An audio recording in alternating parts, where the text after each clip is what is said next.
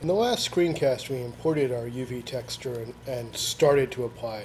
We need to finish this so that it will actually be the texture that is shown when we render our image. To do this, we need to go down and select, well, let me select our mesh right here. And then under materials, I'm going to create a new material.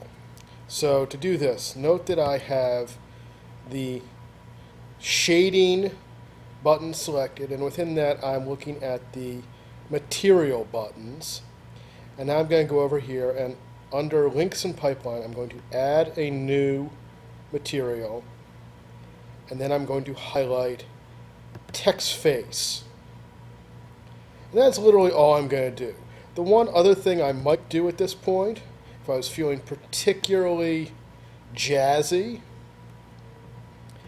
is I might hit the little race car icon over here on the, on the uh, next to the material name. What that does is it automatically names it as best as, as it can, and it figured that I wanted to call this gray. Really, that's lame. I'm going to call it front and back.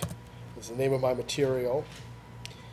And now, this means, having applied this texture, this means that, whoop, this means that when I come back up here to the top and say render the current frame, what it will render is this 3D shaded version with my texture map on it.